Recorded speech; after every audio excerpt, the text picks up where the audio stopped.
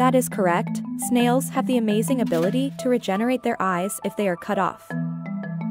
This is a remarkable feat of biological repair that scientists are interested in studying. Snails belong to a group of animals called mollusks, which also includes clams, octopuses, and squids.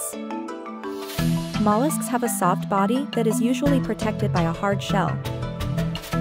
Snails have two pairs of tentacles on their head, one pair for smelling and the other pair for seeing. The eyes are located at the tip of the longer tentacles.